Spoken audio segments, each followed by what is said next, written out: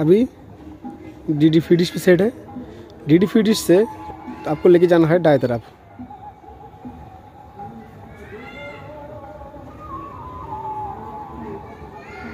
आपको आ गया टाटा प्ले अब टाटा प्ले से यहाँ पर डिश टीवी टाटा प्ले और थाईकम यहाँ पे डिश टीवी टाटा प्ले थाईकम आप थोड़ा सा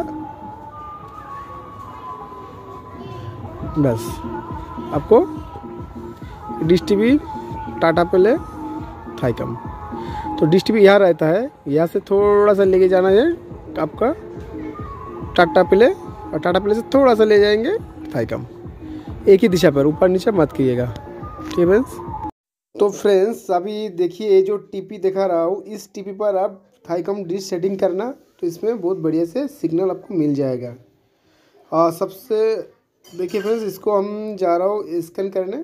स्कैन करके दिखाता हूँ, इसमें कितना चैनल टोटली मिलता है। फ्रेंड्स स्कैन हो रहा है।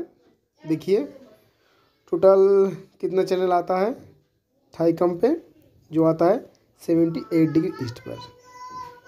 ठीक है फ्रेंड्स अभी थोड़ा टाइम लग रहा है। यहाँ पे देखता हूँ कितना टाइम लगता है। फ्रेंड्स वीडियो को थोड़ा थोड़ा सा कुछ कर लेता हूँ, क्योंकि बहुत टाइम ही लग रहा है। देखता हूँ फ्रेंड्स तो फ्रेंड्स ये थाईकम ट्रैक करना बहुत ही आसान है। और फ्रेंड्स मेरा एक यूट्यूब चैनल है, वो टी टू इस इन्फो उसमें इसका फुल डिटेल्स बता देंगे। कैसे आपको ये डिश सेटिंग करना है, सबसे सीधा, सबसे आसान तरीका। फ्रेंड्स, देखिए स्कैन अभी तक तो एक भी चैनल नहीं आया। उनचास पचास परसेंट स्कैन हो गया। देखता हूँ फ्रेंड्स, और कितना टाइम लगाता है। देखिए फ्रेंड्स, मैं थोड़ा सा पूछ कर लिया था। नब्बे के बाद स्कैन जो चालू हुआ। तो अभी देखिए टोटल मुझे एक सौ तैंतीस, चौंतीस चैनल मिल रहा है। अभी तक स्कैन हो रहा है। देखिए फ्रेंड्स, निन्यानवे, सौ परसेंट स्कैन हो गया। टोटल मुझे एक सौ एक सौ नाइन्टी टू मतलब बिरानबे शायद। देखता हूँ। एक से लेके एक सौ बिरानबे एक से लेके एक सौ बिरानबे चैनल प्राप्त हुआ।